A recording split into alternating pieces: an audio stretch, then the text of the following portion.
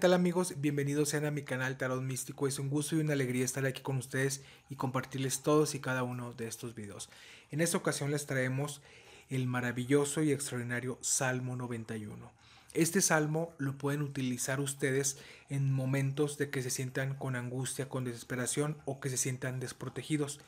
Este salmo les va a ayudar a que ustedes tengan esa protección divina que tanto desean. Entonces, vamos a comenzar.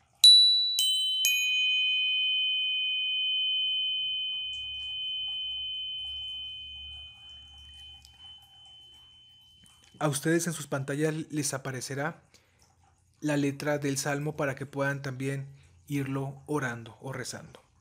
Salmo 91. El que habita al abrigo del Altísimo. Morará bajo la sombra del Omnipotente.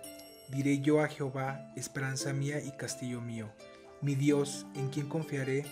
Él te librará del lazo del cazador, de la peste destructora. Con sus plumas te cubrirá y debajo de sus alas estará seguro. Escudo y adarga es su verdad. No temerás el terror nocturno, ni saeta que vuele de día, ni pestilencia que ande en la oscuridad, ni mortandad que en medio del día destruya. Caerán a tu lado mil y diez mil a tu diestra, mas a ti no llegará.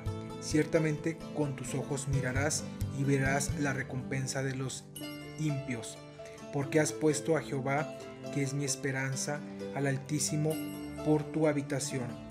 No te sobrevendrá mal, ni plaga tocará tu morada, pues a sus ángeles mandará cerca de ti. Que te guarden en todos tus caminos, en las manos te llevarán, para que tu pie no tropiece en piedra. Sobre el león y el áspid pisarás, hollarás al cachorro de león y al dragón por cuanto en mí ha puesto su amor y yo también lo libraré. Le pondré en alto por cuanto ha conocido mi nombre. Me invocará y yo le responderé. Con él estaré yo en la angustia, lo libraré y le glorificaré. Lo saciaré de larga vida y le mostraré mi salvación. ¿Se dan cuenta amigos qué maravilloso es este salmo? Pónganlo en práctica, para cuando ustedes necesiten esa ayuda divina y esa protección divina. Lo pueden utilizar en el momento que ustedes quieran al hacer un ritual o simplemente rezarlo para una protección y será fabuloso para ustedes. Y pues bueno, espero que les haya gustado este salmo tan maravilloso. Me despido y los veo hasta la próxima. Gracias, bendiciones infinitas para todos y cada uno de ustedes.